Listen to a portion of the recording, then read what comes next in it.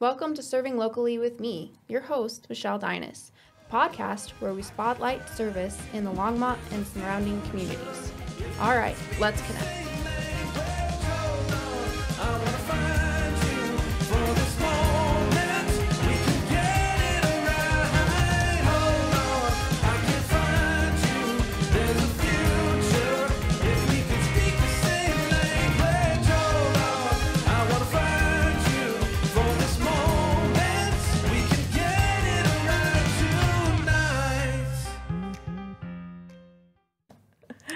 Hi, welcome to Serving Locally with me, Michelle. Today's episode, we are spotlighting the Recovery Cafe, which is right across the street from where we're at right now.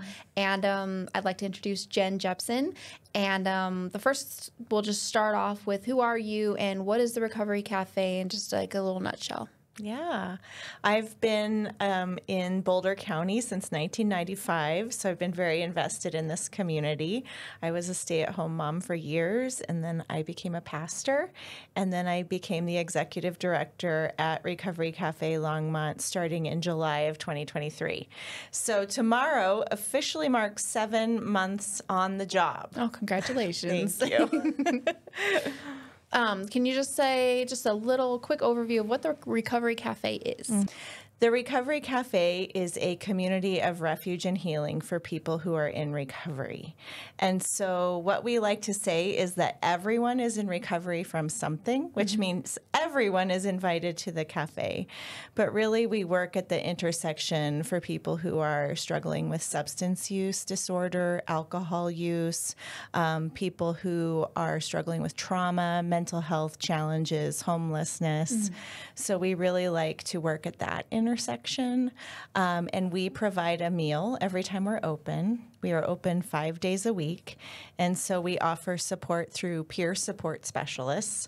I like to say that's the secret sauce of what we do because they are people who also who also are in recovery. Mm. And so they have lived experience and they get to really work a walk alongside our members.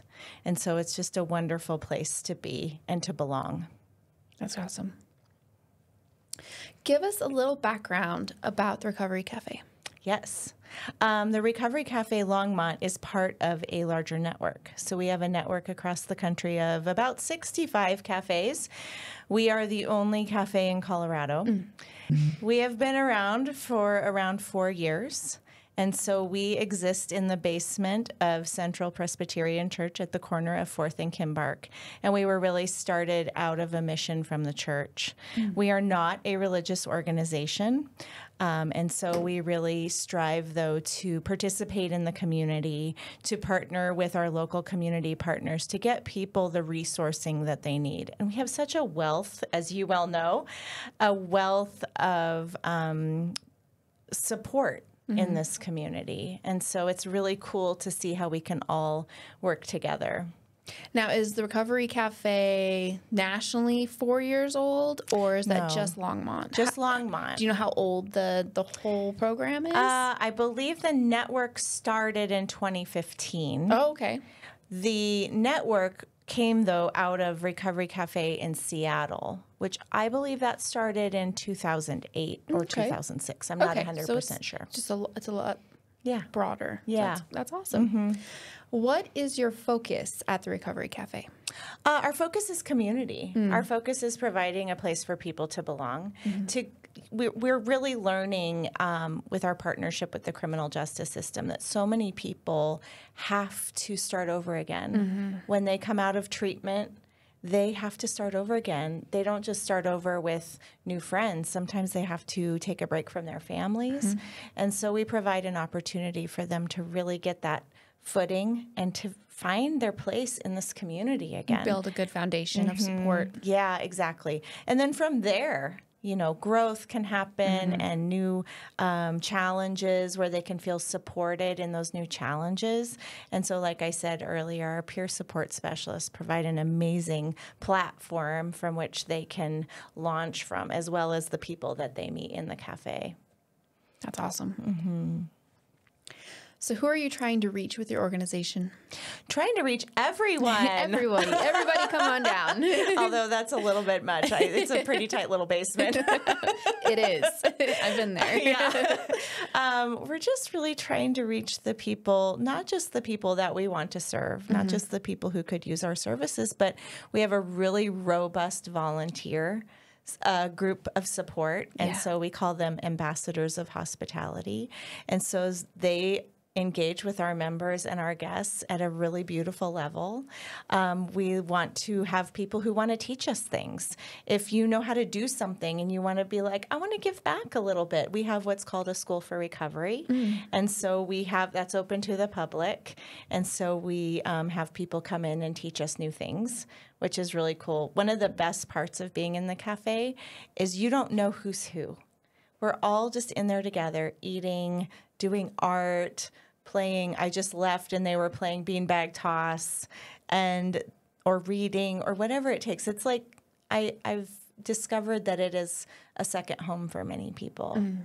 And so um, we just want to reach anyone who feels a calling to being part of a community. And I think in these fractured times, that's really essential. And I believe the foundation for so many of our concerns and struggles in our society really stem from um, loneliness and isolation and not having. Um, we have one of our main values is uh, radical hospitality, and our other main value is loving accountability. And so we're working in that those two things in tandem, really trying to say, here's a place for you to belong. And also, we want something from you. We want you to participate in the life of this community. We want you to be drug and alcohol free while you're in this community. and want you to be part of a, a recovery circle as well. That's really cool. Um, what makes the work of the Recovery Cafe different than other similar serving organizations? Uh, one of the ways that sets us apart is we have a membership model. And I did just reference our membership requirements, but I'll outline them again. So we ask people to, if they come into the cafe, they can be a guest for one or two times, and they're welcome to participate for those one or two days. Um, but then we say, we would like you to become a member. And we ask them to do three things. We ask them to participate in the life of the cafe. That might mean keeping it clean or providing support to somebody, whatever it looks like on that day. Um, the second thing we ask is that they are substance and or alcohol free in the space. So um, that is number two. And then number three is um, we ask that they participate in a recovery circle. So that means once a week they have their circle that they are a part of and they get to meet with the same people and just do a check in. It's not like anything dramatic, but it's just a chance to go, okay, this is what I'm struggling this, with this week, or here's what I see in you, and I want to lift that up in you. Um, so, an opportunity to have a conversation with people who might be at the same spot they're in. And dedicate some time. Yeah, yeah, and I think also to our um, what sets us what sets us apart is our dedication to eating together. Another volunteer opportunity at the cafe is um, cafe cooks. We don't have a kitchen that we can cook in, provide food in. Um, so we have people bringing food to us every time we're open. So uh, we have a bunch of dedicated cafe cooks who love nutrition, and so uh, we get all very healthy meals, which is wonderful. We have a couple, um, as an aside, we have a couple local restaurants that donate to us too, That's which good. is wonderful on those. Um, for those exceptions. Um, but we eat together every time we're open, and that just really um, is where our lowest common denominator lies, right? Like, what can we do together that brings us together, where we don't have to disagree? We all we all get to agree on food, air, all have to water, food. Yep, exactly. um, what are the greatest needs for the Recovery Cafe? You know, we always love more volunteers. And like I said, cafe cooks, that is always a need. Um, we are in need of a new building. We are in a basement and we've been there about two years too long. Yeah, and it's small. It's small. Um, so we are in the process And of, I imagine where it's located yeah. makes it somewhat daunting Mm-hmm. for some to Yeah. want to to be a part of that. Yeah, we've got a couple. One is stairs. We don't Mm-hmm. have any way in or out without a multitude of stairs. That's true. Mhm. And then the religious aspect. Yeah. And really seeking to be a place of community for everyone. And yes, being in the basement of a church probably has more impact than we realize Yeah. a lot of the time. So we really are in the process now of identifying a new space and moving forward in that. So I think 2024, 2025 will be an exciting time for the life of the cafe. Hopefully, some growth and Um, yeah. some relocation. Yes, I hope so. Yeah. Awesome. Do you guys have leads? Yes. Okay, awesome. We do, So yeah. there are some things in the works. There are. Yeah. Good, It's very very, exciting. Stay tuned. Do you have any events coming up or volunteer opportunities? Obviously, we've got the cooks and stuff, um, but I know you guys do. I know you guys do some cool events, Mm-hmm. so let's talk about that. Yeah, we um, monthly. Our, our most favorite thing mm-hmm. is open mic night. Yes. So the first Friday of every month. So and it is a great collection of community members from the cafe, Longmont community members and mm-hmm. beyond. And we have everything from sharing photographs to singing original songs. And so it is a real treat to bring everyone together and just celebrate community. Um, we offer pizza too. So we also every Friday night, including our open mic nights, we offer Acu Detox, which is an acupuncture that takes place in the ear, on the outside of the ear, and we offer that at six o'clock every Friday night. And it's an opportunity to challenge the body and provide relaxation as well as help with recovery and other things. So that's a neat community event as well. Uh, And are these events free? Do they have to register? they're all free and no registration required. we just want to see your face. Um, what else do we have coming up? What if you want to be involved with the mic night? If you have a song that you want to do, Oh, just show up, Just show up. put your name on the list. There you go. It's very easy. low, low stress. yeah, so we have a good time with that. So those are the two that stand out right now. But every day we're open. We have something going on. So, how can people contact and find out more about the Recovery Cafe? Of course, they're already in my link tree. They've been there Yeah. for the whole time I've been here. Thank you. Um, yeah, and I'll put all the information in the show notes and stuff. But um, yeah, how can they contact and find out more about you We- guys? Yeah, we have a great social media presence on Facebook and Instagram, Recovery Cafe Longmont. Um, you can follow the network too if you want to get more information about the what the larger network is doing um, at their website, recoverycafenetwork.org. But we're at recoverycafelongmont.org. Okay. So you can just go there and find what you're looking for. We have an active calendar. So on there to see anywhere you want to plug in. And if you have any questions, just no no problem giving us a call. Yeah. Awesome. Um, is there anything else that you would like to add to the conversation that maybe I skipped in in talking about, or you just feel passionate about that you just want to want to talk about for a couple minutes, or some stories maybe that hit your hit home? So one day we we all know there's a crisis with people coming from South America up to the US trying to find their way and to escape, you know, really severe situation down there. Yeah, the whole situation is not fun. No, it's Uh, no terrible. way you look at it. Yeah. Mhm, terrible. And people have traveled a long way. We had four um, men from Venezuela found us because they asked someone on Main Street, "Is there a place we can go?" And someone happened to have a recovery cafe card, and so they popped in one afternoon, just a random day. Thankfully, it was kind of slow, and. Um, our bilingual peer support specialist Christina was able to work with them and come to find out they were trying to they didn't we fed them. They didn't need anything really from us other than they needed to get to Missouri because they had work mm. and family in Missouri. So we called over to Hope. Mm-hmm. They had some funding to navigate this so we had two people come over from Hope and then our peer support specialists worked together. And all in the cafe they were able to get these four young men to where they needed to go. That's awesome. you know they didn't become members.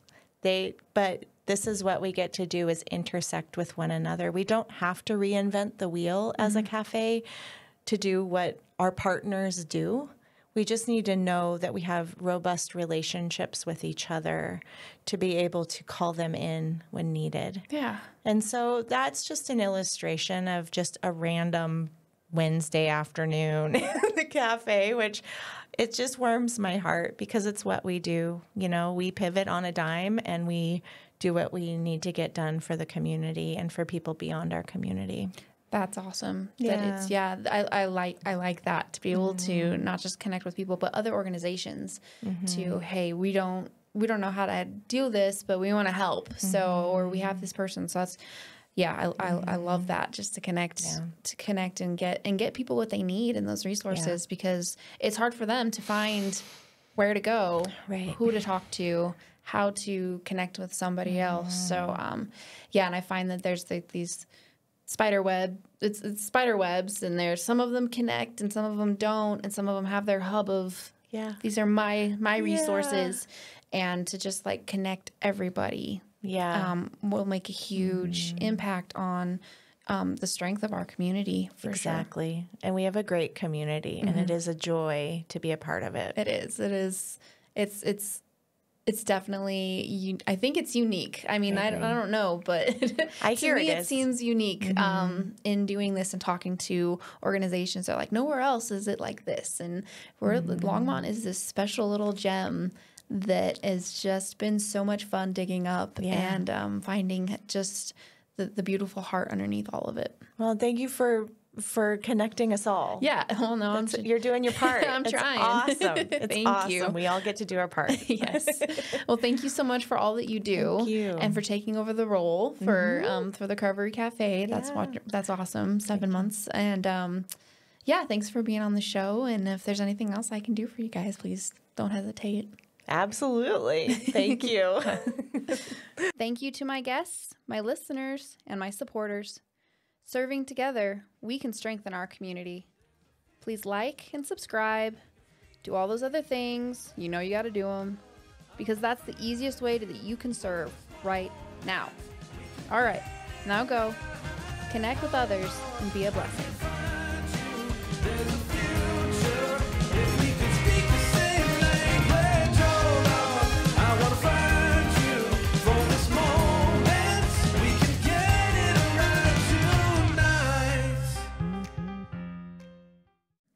Side note, I'm taking a, a skills to build community and destroy loneliness at my hmm. church right now. And it has been hmm. really, really cool. So, and this is, they've just started where their third like go around with people and mm-hmm. stuff. And I just, I feel all of that. yeah. Feel all of that, that the loneliness mm-hmm. definitely just takes, it takes a toll. Yeah. And especially, you know, in doing this podcast, learning, you know, since COVID, you know, it just kind of everybody's on this whole different path, Yeah. and um, so just trying to rebuild that foundation. Yeah, and the Surgeon General issued their report last year around this whole thing as a real crisis. Yeah. that we're in. So it's it's a big deal, and I think wherever we can find our pockets and where we can both serve as well as be served. I mean, as much as I um, adore my job, I also get to be served in what I do, Absolutely, which is incredible. it's so rewarding. It to, is. to help other people, and you grow too. You Yeah. Mm-hmm. you, you do. You grow and you you appreciate things